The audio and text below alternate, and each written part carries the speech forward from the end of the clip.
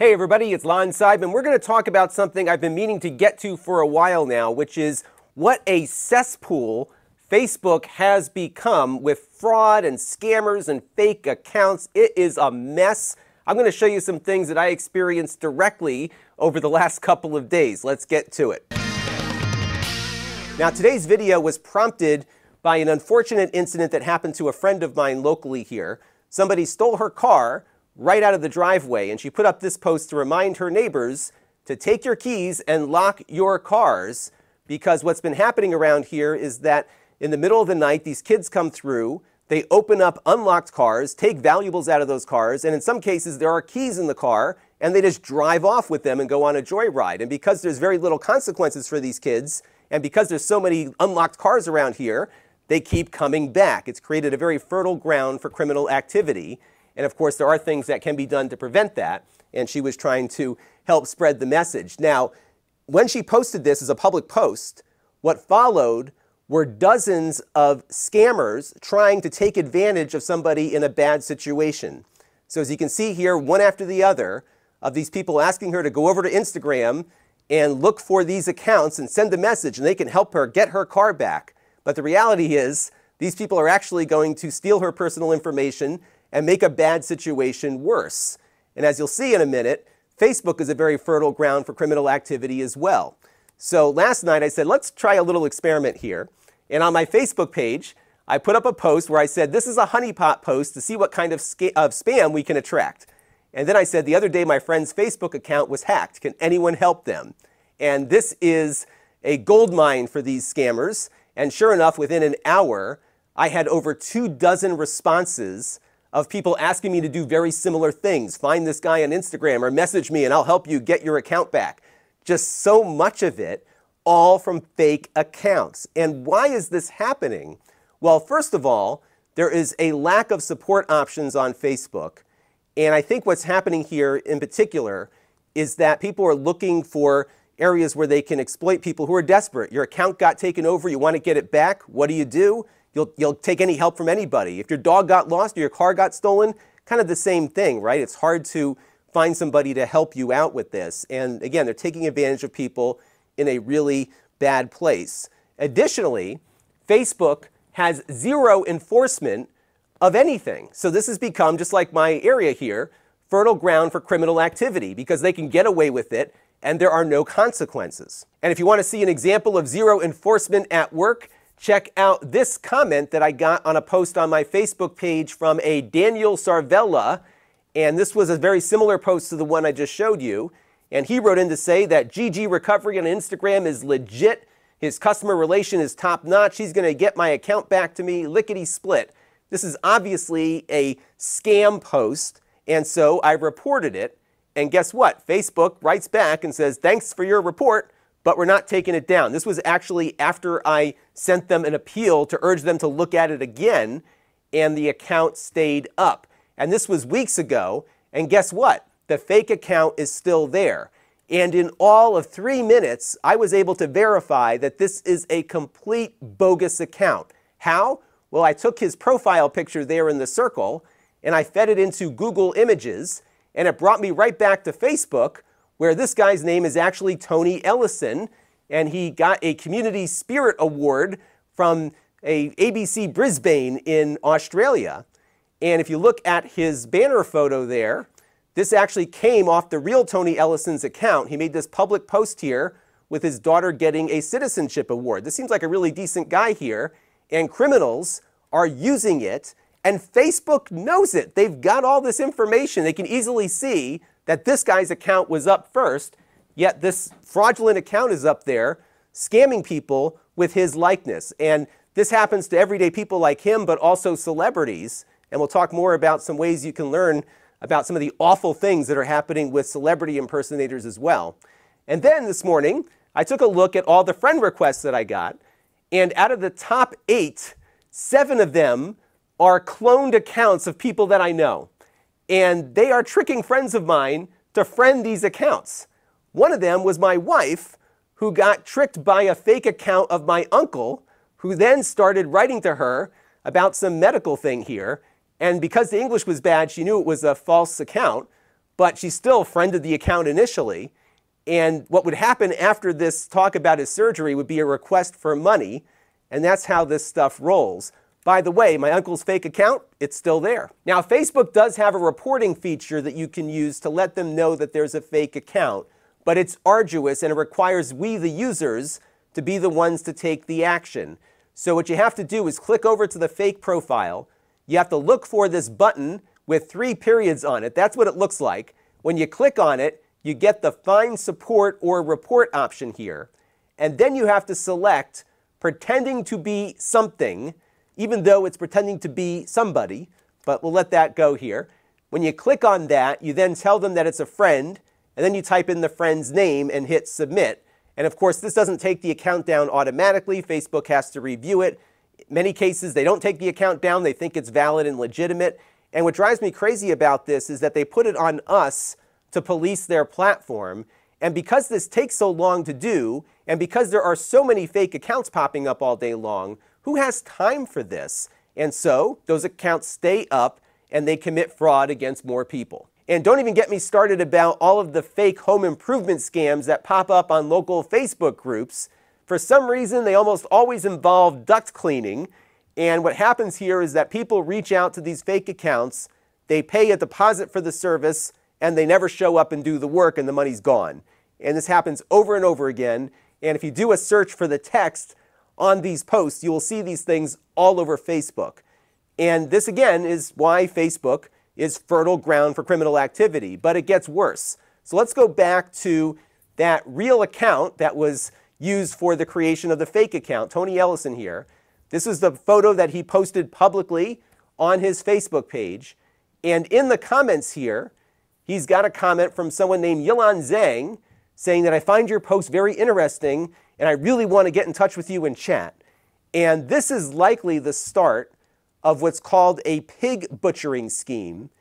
And what they do is essentially fatten the pig to the point where they can extract a lot of money out of them. So it starts off innocently enough. They target people that are elderly or lonely and make them feel like they've got a long distance relationship. And then they start having them send money via cryptocurrency into these fake investment accounts. You can read more about this over at CNBC. But it's more nefarious than it sounds because, in many cases, these scam operations are actually trafficking slave labor into their operations. There was an expose posted on, on the New York Times just this weekend about a Chinese gangs operation to commit these crimes against people in China using WeChat. So it's not just Facebook, it's other social media networks as well. But really, any network with a large audience like Facebook or like WeChat is certainly vulnerable for this kind of thing. And the question is are these networks doing enough to stop this activity? They have all these AI resources. It's very simple to see when an account was created and when the profile photo was uploaded. Why they can't do more to prevent these things from happening is beyond me because this is the kind of stuff that happens when you've got a very fertile environment for criminals to do their work. So, with the advent of AI making it a lot easier to create fake accounts, how do we go about verifying that people are real? And I can predict that all of you watching are not going to like what I'm about to talk to you about here, but I think this is where things are going. And we're starting to see this happening now on three major social media platforms, with more coming, no doubt, in the future. Now, a few months ago, Facebook slash Meta rolled out their Meta Verified program where you can get yourself a nice badge here with a check mark so that you can verify who you are with Facebook and Meta. And it requires, and I know this is the part you're not going to like, you to submit your government issued ID and maybe a selfie video also, depending on what region you're in, so that they can match you up and know that your profile is the real you, which you would hope would make it easier to stop all these people from creating clone accounts. So far, it has not. There are many examples of verified celebrities having their, their accounts cloned and scamming people. So, so far, I have not seen this working yet. The worst part about Meta's approach is that they charge you for it $12 a month here in the US. But if you pay, you can finally get a customer service person to help you if you have a problem. But most people are not going to do that. They're not going to submit their ID, they're not going to pay for it, And so I don't think Facebook is going to really be able to solve the problem here with this program. They've really got to do something else, and they are certainly capable of doing it. Part of why I think they haven't taken much of an effort here is that a lot of their uh, success and performance as a company is tied to the daily active user count. That's what their shareholders look to. How many people are on the platform?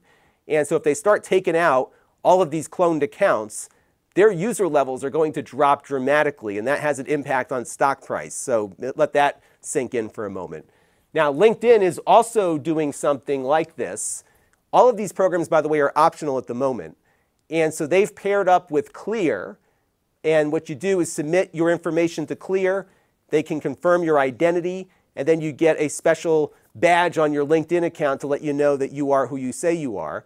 Again, this is not required, but a lot of these platforms are starting to give verified accounts a little more of a boost in their algorithms. So there might be some incentive for people to do that because LinkedIn also has a fake account problem. Twitter, of course, has its own problems. And although they created their uh, verified thing where everybody can get a blue check mark, the only identity verification they were going off of was a credit card. And we all saw how bad that went through. So they quietly rolled out an ID verification policy. And again, it will boost you up a little bit in the rankings on the algorithm if you do submit a government ID and verify your identity. So I think this is where a lot of these platforms are going to go to some degree, but it doesn't solve the problem completely because people have to participate in order for it to work. Meanwhile, I think with all of the resources and AI know how that these companies have, they can solve this problem if they really wanted to. So, what can we do to protect ourselves? Well, the best thing we can do is educate ourselves and our loved ones about how to avoid getting scammed. And one great resource here in the US is the AARP. They have a fraud watch network where you can actually call people on the phone and get help before you turn money over to a scammer or worse. So definitely check out that link, lon.tv slash fraudwatch will bring you there. They also have a podcast called The Perfect Scam. And this is a weekly podcast. It is exceptionally well done. It is very easy to digest. And what they do is they work through the mechanics of the scam, often with a victim who they're interviewing to describe the whole process and what they were thinking and feeling as the scam continued. It is very, very educational. And I think something that not only you should listen to, but everyone in your life should be listening to as well. It's a great resource. There's also a YouTube channel that I suggest checking out, especially if you want to see how these scams work. And that YouTube channel is called Catfished. This is by a company called socialcatfish.com. And they run a service that tries to help people stay out of romance scams. They let you scan pictures that are being sent to you so you can see if they're legitimate or not. The service they offer is a paid service, but the YouTube channel, of course, is free. And every week they're interviewing somebody who's leaving their husband, who's getting arrested for uh, laundering money. It's crazy the kinds of things that are going on and how many people fall for this stuff. And in each episode, they detail all of the communications from start to finish so you can see exactly how these things progress. It's another great resource to check out. But unfortunately, Facebook remains a cesspool. They're not alone. There are other problems on other social media networks, but Facebook is the largest, especially when you account for Instagram as well as their regular Facebook platform.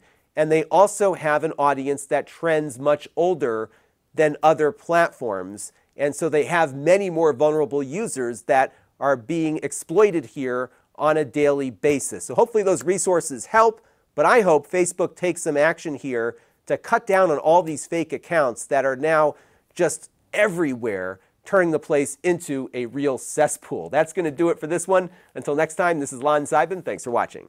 This channel is brought to you by the Lon.TV supporters, including gold level supporters Brian Parker,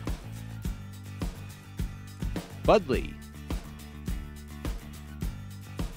Hot Sauce and Video Games, Steve Green, and Am Amda Brown. If you want to help the channel, you can by contributing as little as a dollar a month.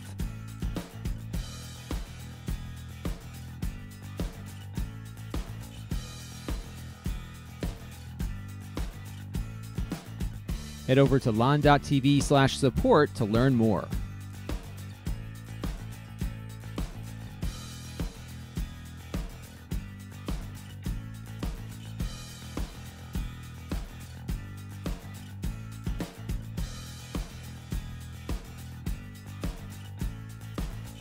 And don't forget to subscribe. Visit lon.tv slash s.